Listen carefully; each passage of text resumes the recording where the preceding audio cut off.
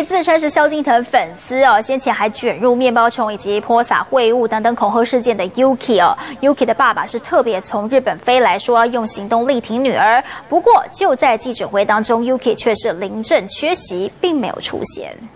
会常常对老校西装笔挺、严肃神情，这一位就是日籍富家女 Yuki 的爸爸阴山次郎。不过身边却不见 Yuki，只有律师一起出面说明。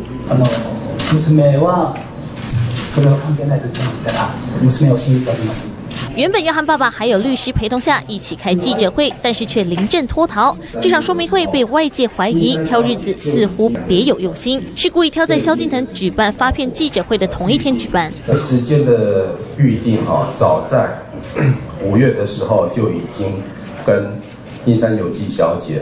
我们有所沟通，然后决定在六月四号。Yuki 的爸爸表示，曾经在演唱会上看过萧敬腾，但是并不熟识。Yuki 曾为追星接近老萧，常砸钱赞助他的活动。去年更花四千万买房当他邻居，追星金额逼近亿元。这次爸爸出面说明，出面力挺女儿，想要平息风波，不过却对很多事情一问三不知，表示只听说过煲汤事件，其他事情都不太了解，似乎没有把问题解决，反而留下更多问号。记者胡克强、李亚英台北报道。